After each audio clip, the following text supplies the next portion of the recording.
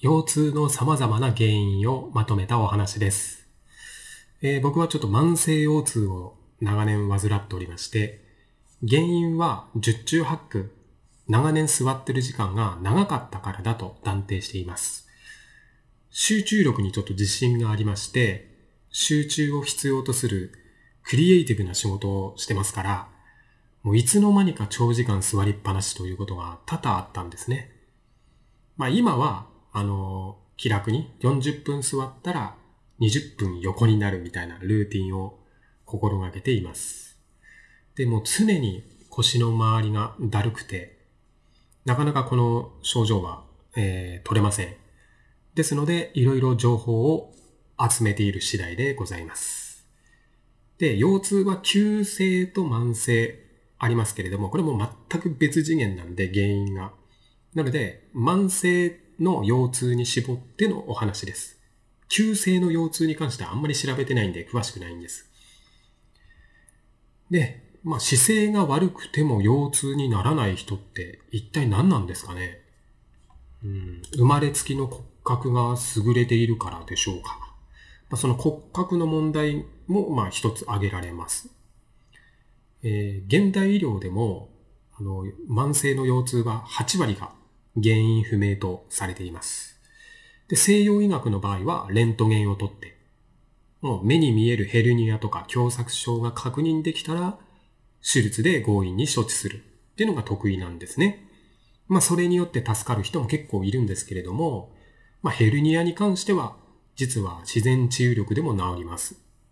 発症して6ヶ月前後で自然に消失するっていう話ですね。で、脊柱管狭窄症は、まあ、主に高齢者の方がなるもので、もう背骨がガタガタすぎて、これに関しては自然に治ることがありません。で、この狭窄症に関しては非常にメジャーな症状なので、若い頃からあの対策を知っておいた方がいいかなと思います。で、次、えー腹筋と背筋のバランス。これ昔からよく聞く腰痛の、ね、原因なんですけれども、これちょっともう古臭くて、うん、信憑性がなんか低いなと思いますね。それに腹筋と背筋、どっちが弱いのかもよくわかんないんで、ね、間違って、あの、強い方を鍛えちゃったら、よりひどくなるっていうことになりますし、うん、なんか対処のしようがあまりないんですよね、この腹筋と背筋のバランス説っていうのは。うん、あまりこれはちょっと僕は信憑性が低いなと思ってます。で、近年は、その腹筋背筋のバランスじゃなくて、腸腰筋が原因になっていることが多いんじゃないかというのがもっぱらですよ。で、自分の場合はこの原因が一番当てはまるので、あの、腸腰筋に関して、あの、重点的に、あの、取り組んでいます。もう座ってると、腸腰筋がもう縮みっぱなしなんですね。うん。だから筋肉が硬くなっていって、血流が悪くなって痛みが発生すると。で、まあだから、腸腰筋のストレッチを、えっ、と、朝晩やってるんですけれども、まあ、ここでまた一つ問題発生ですよ。最近なんかね、ストレッチはやめとけみたいな情報も出てきてるんですね。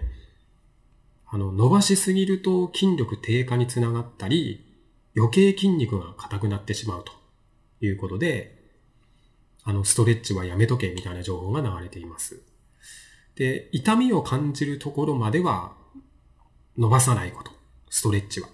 無理しない。だから、痛気持ちも良くないのかなと。痛気持ちの手前でストレッチを続ける。気持ちで終わるぐらいのところで。まあ、それが大事なのかなと思います。あの、ストレッチはやめとけっていうのは極論なんです。やりすぎてしまう人がいるから、もうそ、それをするんだったらやめとけって話で、正しいストレッチならいいと思うんですね。その痛くないストレッチは。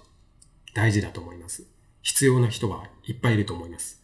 だって、筋肉が縮み込まって硬くなってる人は、やっぱりストレッチは絶対必要だと思うんでね。それは手術でどうなるとか、薬でどうなるとかの問題じゃないんで。だからまあ、ストレッチはやめとけっていうのは、もうそれは極論。うん。まあ、まあ、いいアドバイスですよ。うん。その理論をやめとけっていう理論を知って、どういうストレッチが正しいのかっていうのがより分かったので、はい、極論のおかげでね。で、いきなりね、やっぱり伸ばして短期間で治ろうっていう発想がもう危険なんですよね。強く伸ばして。だから何ヶ月後に、何年後に良くなるっていうイメージで、あの、日々の軽いストレッチを続けていくと。うん。硬くなった筋肉を徐々に徐々にほぐしていく。急がない。これが、あの、重要かなと感じています。で、まあ、以前もね、腰痛の動画アップしたんですけどもね、その時に、干渉法っていうのがあるよとか、天城流当時法みたいなもんもあるよみたいなの紹介されたんですけども、それ見たんですよ、いろいろ情報をね。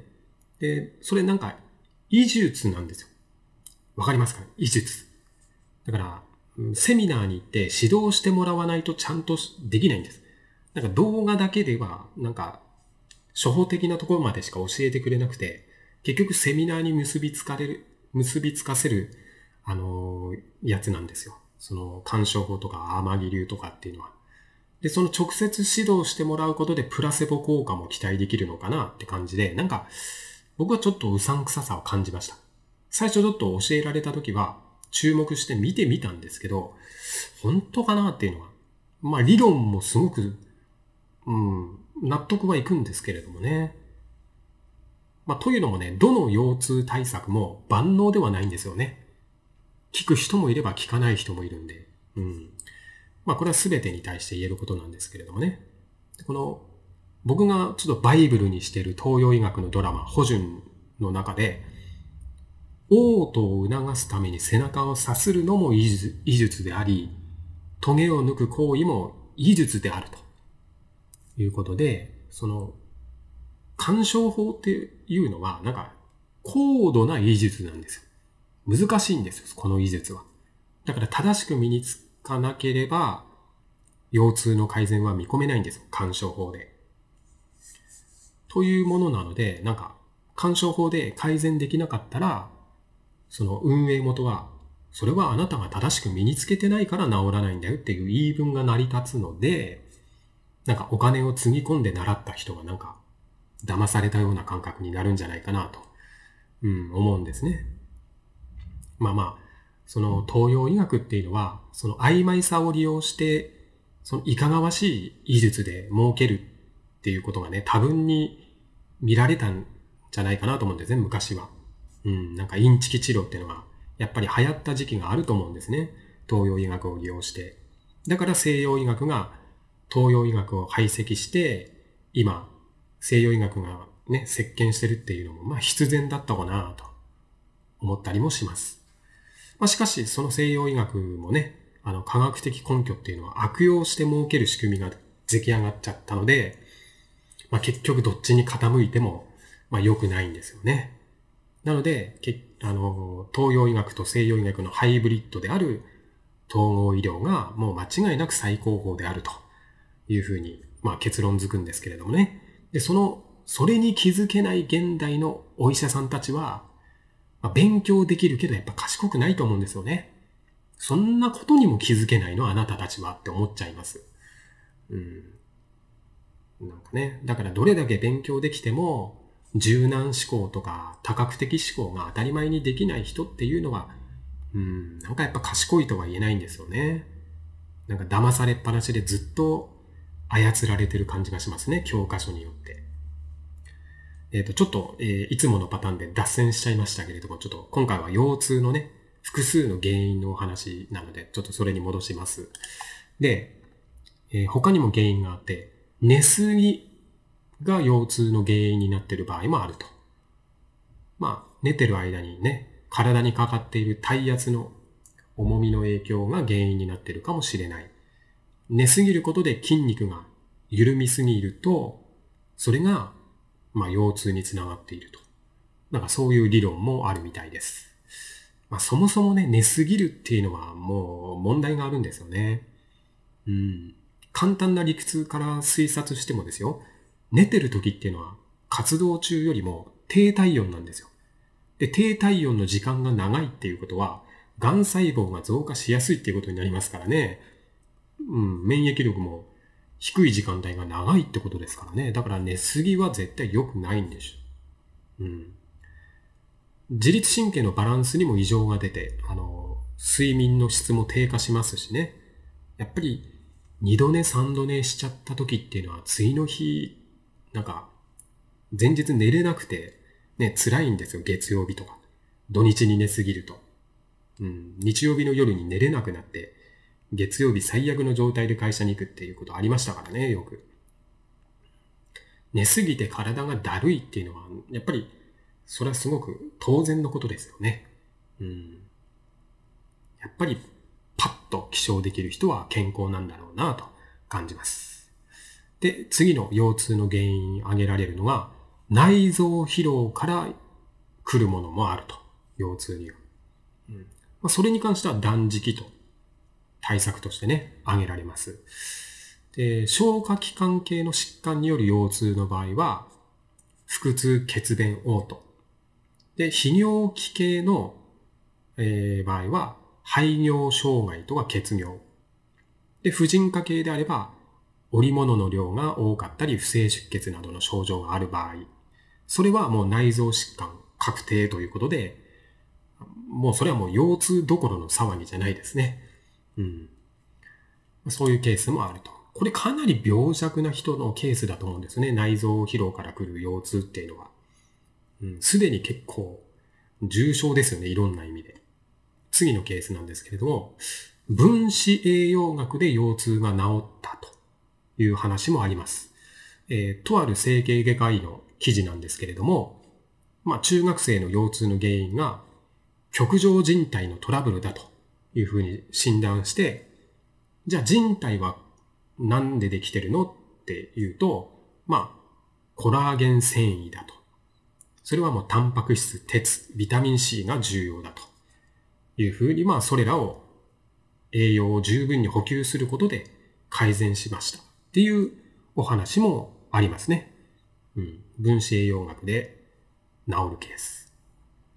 と、まあ、いろいろなケースを紹介しましたけれども、まあ、どれもね、なんか根拠としては、まあまあ、なるほどなというものです。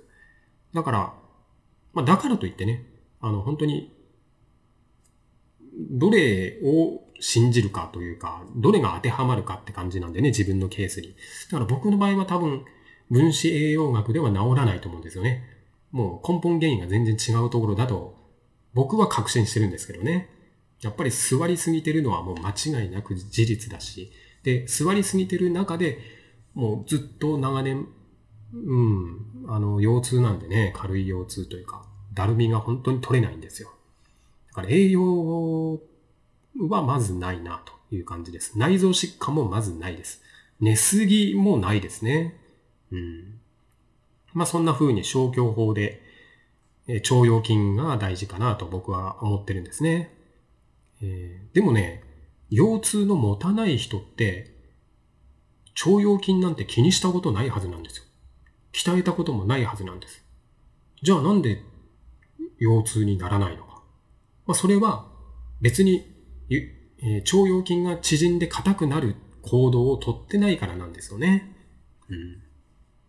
まあ、座りすぎっていうのは、あの、本当に、こう、足曲げてると腸腰筋が緩みっぱなしなんですよね。まあ、緩むというか、縮み、縮み込まる姿勢というかね。うん。まあまあ、座りすぎは単純に寿命が縮まると言われるほど、まあ人間にふさわしくない行動ですから。うん。ただ僕の場合は仕事でもありましたしね、オフィスワークが。で、その行動を長年ずっと続けてきて、しかも集中しすぎる感があるんで、没頭してパソコンと向かい合ってましたからね。うん。まあその点に関しては今はもう大いに反省をして、腸腰筋を朝晩軽めにストレッチを続けています。もうこれは、もう腰のだるさが完全に消えるのはもうまだまだ時間がかかると思って、別に急いで治そうというあの感じではないです。もう何年単位でじわじわ改善していけばいいかなというふうに思っております。今回は以上になります。